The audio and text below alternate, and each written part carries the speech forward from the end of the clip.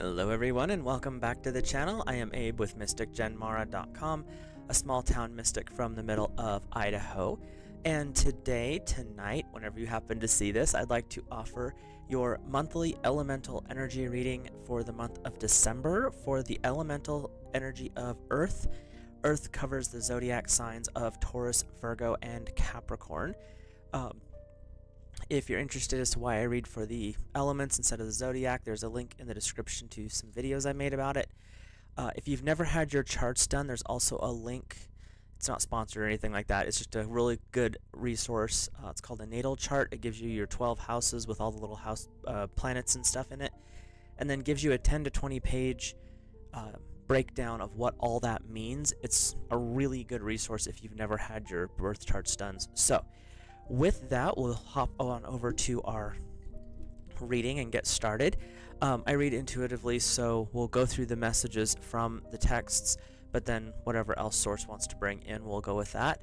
And we'll start off with our I Ching, uh, and it's for Earth. I cast this hexagram before we started. It is number eight, and it is unity and coordination. Unity or coordination, good fortune. Further consultation of an oracle will provide omens of great and lasting value. No error. Those whose hearts are troubled assemble. The laggard the laggards suffer disaster. You definitely don't want to be burying yourself in laziness this month is what I'm hearing because you are working together, you're standing up for each other and you're in your circle, you're able to build and grow significantly, whether it's spiritually, mentally, emotionally, could be profitably. Um, but what they're saying is make sure that everything comes together because by doing that, you're able to actually build things that are going to last for a significant length of time. But being um, uh, slovenly or being lazy, not not a good call for the month of December for our Earth family. So let's take a peek at our foundation line here. Where there, where there is confidence, the work of unification is carried on faultlessly, for confidence is like a flowing bowl. There is a windfall yet to come. Fake it to make it. If you don't feel confident in it, figure out a way to make yourself knowledgeable in whatever it is you're working on, whether that is within retail, whether it's in restaurants, it could be online, whatever it is, do what you need to do to gain the knowledge because that knowledge can actually lead to confidence and do the do the processes that are going to inspire you to gain that confidence. And when you're in those situations where are you sure you know? And you're you're not quite sure be like this is what i found out so far. If there's something that you know that i'm missing let me know because we can grow together by doing so. And that's a good way to approach that and it builds your confidence. The second place line Unification or cooperation should proceed from within your own circle. Righteousness persistent righteous persistence will bring good fortune. You can't unify something from the outside. It has to be from the inside. it just doesn't work outside. So don't try to like push people together. Stand in the center and draw them to you. That's how you're going to unify people to a common goal, especially within your inner circle. Come up with the idea and then start to draw people towards it. You're not going to be able to force anything on them. That's just unfortunately not how it works. But you're able to draw things to you. So get the plan ahead and start to draw the people who are going to assist or guide or support it into the circle. Be persistent if you have to. Righteous persistent is being in holding integrity while pushing forward. So you want to make sure that you are doing the right thing while you're pushing forward. Don't try to cut corners. Don't try to cheat the system. It's not going to work out for you if you do. so, our third place line uh, he joins himself with evildoers. If you do that, that's where you're going to end up having problems. Righteous persistence means doing the right thing for the right reason, showing integrity, holding to ethics, morals, and logic and reason, following your intuition correctly. And with this third place line is just a heads up do not tie yourself to people who are going to cheat the system. They're going to try to cut corners. They're going to try to scam something. By doing that, you will fail. Whatever it is you're working on, whether it's relationship, retail, um, online, if you try to cheat the system, you will fail. That's just what they're saying. uh, your fourth place line do, do, do, do, do. He cooperates with people beyond his immediate circle. Righteous persistence brings good fortune. Once you get that inner circle, that group of people that are there to support, we work together. Some have more knowledge than others, so they're sharing, uplifting. When you get into that situation, you can start to reach out to people outside of that circle, but you need to have that foundational line, just like with the foundation, where there's confidence the work of unification is carried on faultlessly. That's your baseline. If, as long as you can get that foundation built with the proper healthy circle of people, then you can start bringing others in because you you know that you're foundationally grounded and that's the important aspect here. So, our fifth place line, the only one that's solid, relying on his people's cooperation, the king pursues game which is enclosed on three sides but loses the quarry ahead. This is because the local people were not warned righteous persistence brings good fortune. Okay, let's see what that actually means because I'm confused by the king part. So let's hop down here. Right, where are we at? Yeah, five. This would seem to suggest that our loss is not due to disloyalty but to having failed to make people into our confidence. So that actually makes more sense. When it says relying on people's cooperation, the king pursues game which is enclosed on three sides. You're the king. You expect people who you've brought in to do the work that they said they would do. Um, it says that he loses his quarry because he's chasing the game that's enclosed on three sides. So the people that you brought in outside of your inner circle may not have always been the best options. They are one of them or two of them or something didn't have all the details or they made claims, cutting corners, that they could not actually fulfill. And that's where you might have lost something temporarily. But again, go back to that righteous persistence. Stick to your morals, stick to your ethics, do things with integrity. Things will balance back out, but it's there's a lesson to be learned is what I'm hearing. So if you can pay attention to who you're bringing in, if someone feels a little bit off, it's not a bad thing to be like maybe you're not the right fit for our group here. That's fine. That is completely acceptable to do and that's where they're saying um, and that's more of in a business aspect. So just how that rolls is what I'm hearing. Um, our top one, capstone here. Attempts to bring about unity when there is no one at the head results in disaster. For you, Earth, in this situation, you need to be the one who steps up. They're saying that this is your plan, this is your goals, your dreams, your agendas. You're the one f- bringing everybody in. Even if someone happens to be further ahead or have more knowledge, this is your plan, this is your um, situation. You are the king, doesn't matter which gender, you're the leader of this group. And for you to not hold that position and be like, no, no, get not stop, we're doing it this way. I will hear your suggestions, but we're not just going to change everything because you said so. This is my project. Bring your information to me. We will sort it out. But there has to be a leader in the situation, is what they're saying. So uh, Earth, definitely going to be an interesting month for you. Definitely a time for growth and change in a positive aspect, of course. So pay attention to the things that are around you, what's going on, because those are all going to play very vital roles. But make sure you have that strong inner circle. And if your inner circle is really small, that's great. But if you're working on a new project, pick the people who are going to be the perfect ones to fit that bill and work with them specifically. So, let's hop over to our tarot. Um, I read week to week. There's approximately four and a half weeks, so we'll go with five weeks in December. Uh, each week there is a guide or guardian, uh, energy or spirit to help guide you through the week or to guard you from uh, unwanted or unneeded uh, energies. We have a message from Source, which is a positive affirmation, some support, some encouragement that comes in and then we'll look at the tarot for a lesson or a challenge, something to work on, or something that might be coming in out of um, out of left field, so to speak. Uh, if I read one, two, three, four, but if the week's rearranged for you, take what works, leave the rest for someone else. With that, we will get started with your first week's guide or guardian. It is number 26. I'm horrible with Roman numerals, called The Healer. The healer dragon is coming in to help you work through, process, and grow beyond the issues that you've dealt with in the past. The healer in this aspect is saying, you have you've had a little bit of an issue with self-confidence in certain areas. You're just not quite sure if you're ready to take that leadership role. The healer dragon this first week is saying, "Let's figure out where that comes from." You have these gifts and abilities, you have these dreams, goals, ambitions. What is it that's slowing you down? What is holding you up?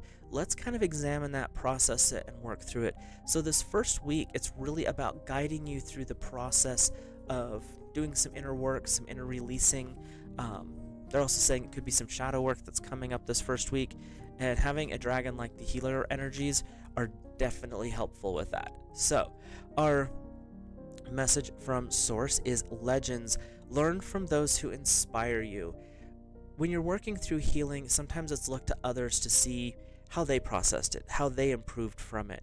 And when you're able to look to people who've had a similar situation, real or fictional, by the way, doesn't matter on that respect, you're able to see, oh, well, that person overcame these monstrous challenges, struggles, and issues, and they succeeded.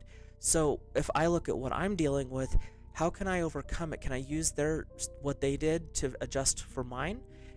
Definitely take a peek at the things like that because inevitably there's a seed of truth even in the fiction, and that's where you can gain a massive amount of knowledge, especially when you tie that into the healer dragon. So, let's look at your lesson or challenge from the tarot. This tarot deck in particular has been exceptionally talkative lately. It wants to throw cards at me. Um, for your first uh, lesson or challenge is the Six of Pentacles.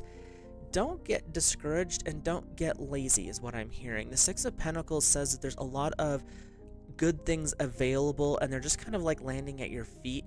And because they're landing at your feet and you're not working for them, what I'm hearing is that you're kind of like, I just don't care about that.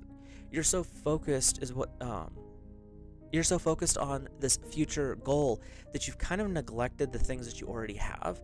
And there's a lesson in gratitude, is what I'm hearing. So, this first week, as you're going through this process of understanding more about what's going on in here, it's also a good idea to look at how you can appreciate things in the physical world, because the pentacles are about the everyday and physical. Find out how to appreciate, tap into gratitude, and really look at it from that perspective. It's really not a good idea to be like, don't really care about that because that's not going to help you move forward when you don't really understand and appreciate where you're at and how far you've come already. Your second week's guide or guardian is number 32. It's the divine feminine. So, this second week's energy is going to be a little bit more gentle. That does not mean it's weak, it just means it's not going to be as bombastic and forward and projective. The divine feminine is really about drawing together finding balance. So when you look at the I Ching, it talked about building that unity and drawing the right people into your inner circle and making that a foundation for you. The divine feminine energy this first week is opening that doorway. When you look at the bottom, it's a Stonehenge door. You are opening that doorway to build that balance. You're bringing together the right group of people who individually may not work, but you're bringing them together for a purpose and that their differences balance each other, and that's where that growth can occur. You're the forefront of what's going on this month, uh, Earth. So it's definitely about stepping into that leadership role, and sometimes tapping into that divine feminine is a good idea because it gives you a t- uh, connection to your intuition, your inner knowledge, and it also allows you to watch the interplay of other people and being able to adjust things before any flare ups occur or solve a problem from behind the scenes. The Divine Feminine is exceptionally powerful, but she's not always at the forefront. The Divine Feminine works miracles behind the scenes, and that's the important part of what they want to bring forward with this is you're not being you you're the leader, but you don't have to be at the center of everything. You can literally work behind the scenes and make it work really well. And that's the energy she's bringing forward to help guide you the second week. Your message from Source is celebration. Let go and have some fun all work and no play, you know, makes Jack a dull boy. But it's saying you're doing a lot of work, but don't forget you can have fun while you're doing it. Just find reasons to laugh. Just for, like, if you have a business and you're having a business meeting and everyone's coming together, put a stuffed animal in the middle of the table. For no reason, just more for, like, what the heck. Keep it light, keep it fun. it doesn't have to always be serious.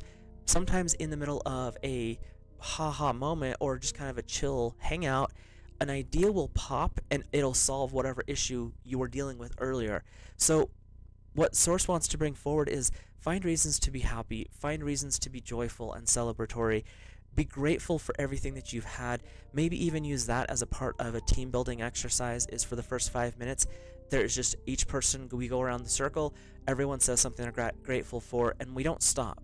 When one person's done, the next one says what they're grateful for. One thing. Just keep going around the circle and see how much positivity you can generate because it's pretty powerful when you do that. But it's also about having fun and letting go of must be serious and must be so uh, always in control. I'm the leader, must look. No, you can still have fun and still be in that position. So your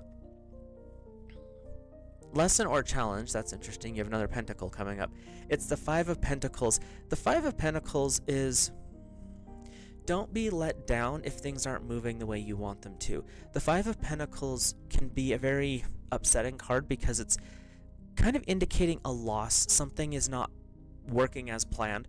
But in this instance, it's a lesson. Just because you're not accelerating rapidly, comparing yourself to the Joneses, it's saying that's okay and it's alright to not be at the same speed. You're doing something different, therefore, do it the way it is being led to do. You have a plan, an ambition, a goal. This month is not going to say you have to mimic somebody else.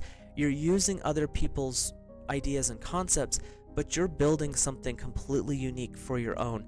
And that could, like I said, be a business, it could be um, an art project, it could be a community organization, whatever it is you're working on. But it's really saying don't be discouraged and don't compare yourself to other people. And that's a little bit of a lesson, but also a challenge because you want to say, see, I'm, I'm doing just the same as them, so we're doing all right. You can do that, it's just not advised. so, your third week's guide or guardian, and I'm not as familiar with this deck as I'd like to be. This one is the Delphin Dragon, and I'm getting a very deep water energy. I mean, obviously there's a whale down here, but it's also saying that this is a deep intuitive aspect. But let's take a peek at what the little book says here. Do do do do do. I just haven't heard some of these terms before, so it's easier to double check. Um, the dolphin is the etheric counterpart to whales and dolphins, so he's actually really good with um, having fun, but also having deep knowledge because the whales are Earth's recorders and keepers, dolphins are spiritual ancestors or future ancestors, future uh, beings, depending on how you look at that. They carry the blueprint of our spiritual existence on Earth, and the, this particular dragon um, carries the same knowledge and understanding within the depths of his being. So these guys are here to help you deep dig into the depths of your knowledge, to help you remember the past or possibly the future, and work with that energy of using that to draw the new people in. Your inner circle is your foundation. The first two weeks I'm hearing were really about getting that together and solidifying your connection with each other. This third week, it's now time to start using that inner knowing, that inner knowledge to start bringing in either outside ideas or possibly adding other people, depending on what you've got going on. Or it could be just this is where you start to reach out a little bit more, is in this third week. Again, apply what works for you. They're giving me this in terms of business for some reason. Um, there's not a lot of going on with relationships on this one. Is not what I'm hearing so far. So, if it's a group, if it's something to do with work, apply where you apply where it needs to apply. uh, your message from source is moving forward. Get ready for positive changes. The dolphin, especially when you work with dolphins, those are energies of very, very powerful positivity. And the moving forward energy with this card is also tapping into that more subtle, darker aspect. She's in kind of an aurora borealis situation where there's a city in the snow. It's dark. The dolphin is the lives in the ocean. It's dark. There's cold. There's still multicolors. So you're dealing with energies that are very similar here, and it's about moving forward and it's about doing it with guidance and intuition, really tapping into that ancient knowledge, the knowledge of your blood ancestors, the knowledge of your spiritual connection to nature and to the people around you. So, this third week, the first week was kind of doing your inner work and inner healing. The second week was getting everybody on the same page. This third week is now that everyone's together, you can kind of gestalt off of that um, combined knowledge and launch forward, but it's because you have accessed those deeper knowledges that you can do the bigger movements here. Um, and it bigger movements could be posting the first ad. That takes a lot of courage. It takes a lot of nerves to be able to do that, and that's where they're saying is it doesn't have to be moving and opening a business in a storefront. That could be what's going on. But whatever's big to you in that moment is what they're saying, and those are the movements that are um, being indicated here. They hear, the, they're showing me a lot of jumbled stuff right now. Sorry. Your lesson or challenge is the Eight of Chalices. So the Eight of Chalices, don't get discouraged. She's feeling overwhelmed. She's feeling nervous. There's this energy of, oh, I'm not sure if I can. I mean, this kind of is her thought patterns, a little bit chaotic up there. But what they're saying is don't let fear or concern get in your way. When you're getting to that point where you're ready to start reaching out, you're doing so in abundance. You're doing so with wisdom and knowledge.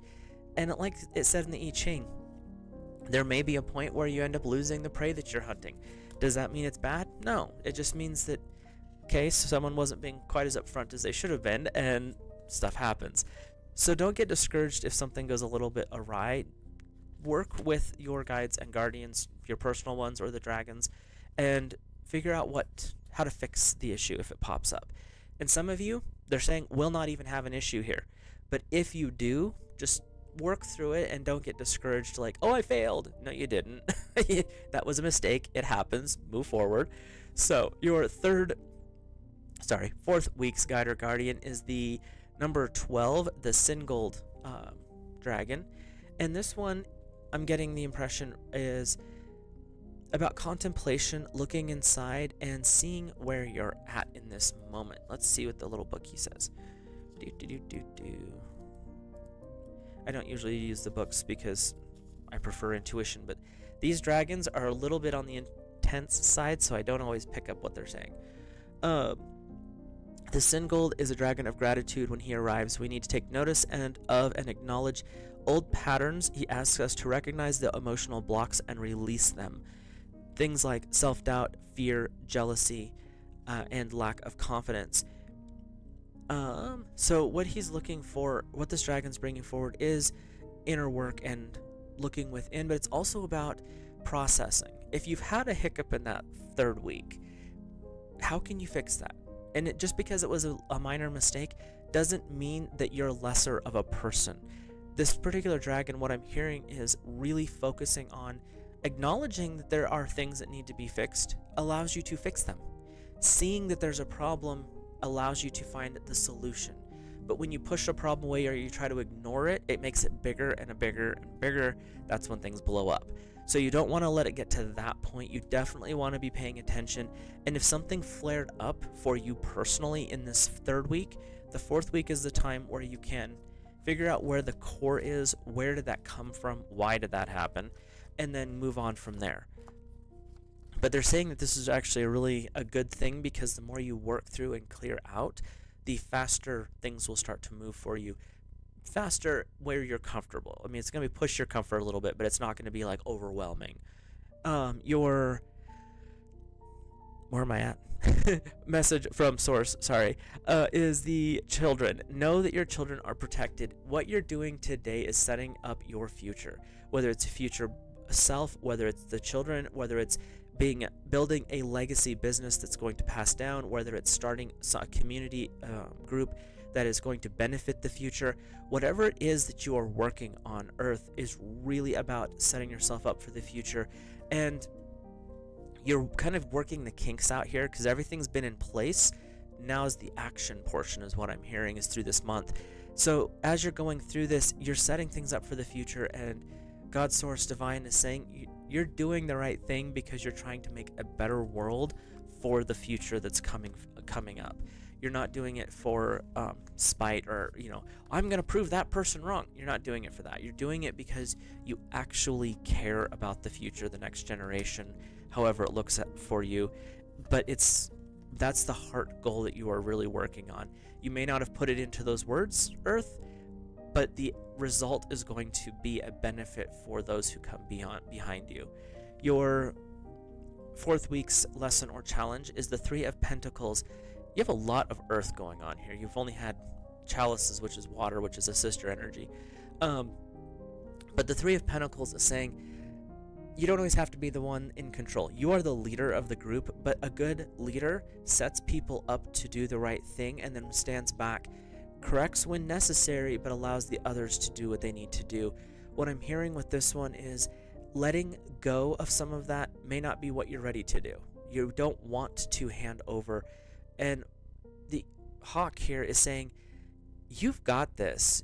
You've set up a killer team of people to work with and work around, you don't always have to be the one that does all the effort. You've brought them together, you've set them up, guide them, manage them, but allow them the freedom to expand upon the combined vision.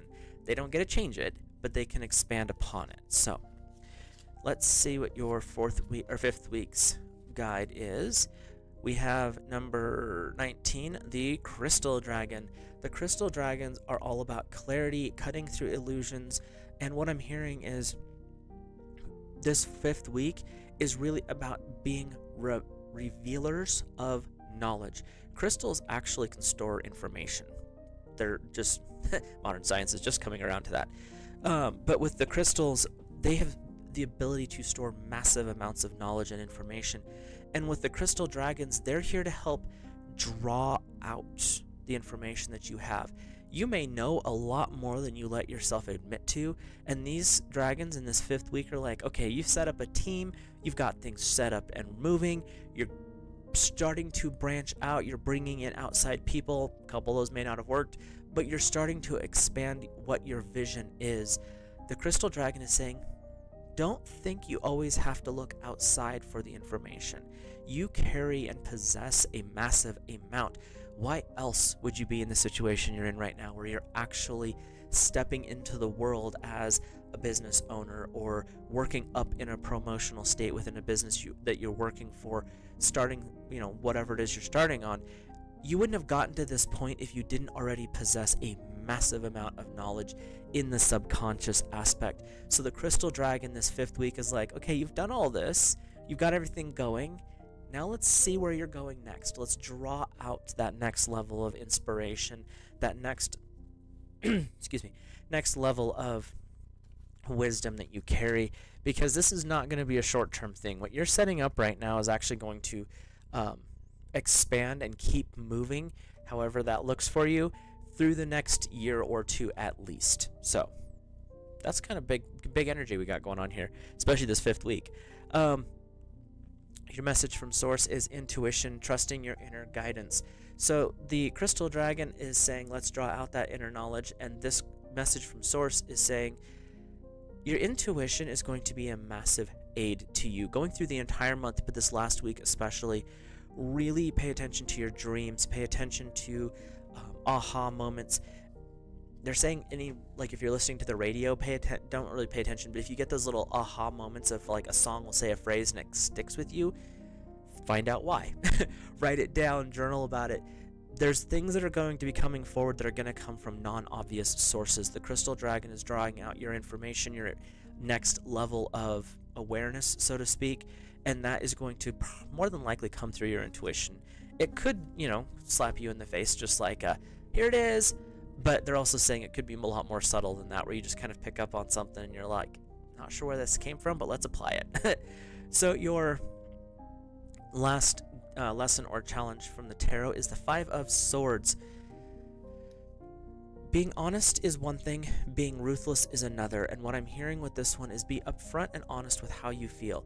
If someone in the circle is getting vicious or they're just being ruthless or unnecessarily mean, that is violating your morals, your ethics, and it's not being in the term righteous persistence.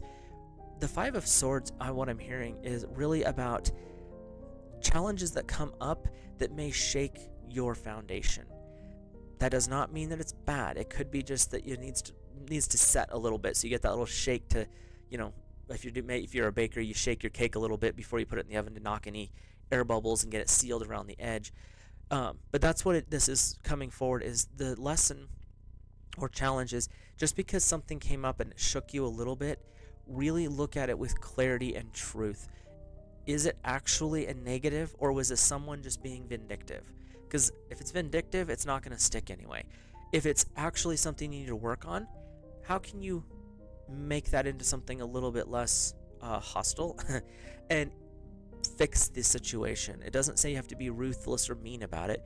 It's just what I'm hearing is find a way to fix the problem as it comes up and adjust accordingly.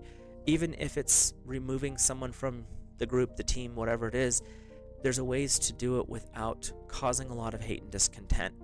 Doesn't not always easy, but that's part of tapping into that crystal energy where it's something that you know you have the ability to do inside, and now it's manifesting it to the outside. So, I'm actually kind of curious to see how Earth feels about all this because it's going to be an interesting month. Like I said, there wasn't a lot of relationship stuff. This was very much about more of a business practical aspect. Um, it could be work or however this for this reading. But the month of December looks to be a little bit more uh, growth focused for our Earth family. So, um, let me know in the comments down below. If you're new here, hit that subscribe button and drop a like if you enjoy these type of videos. Uh, let me know any thoughts, feelings, and opinions as long as we're respectful. That's really all we can ask for in today's world. Uh, with that, I will see you in the next episode.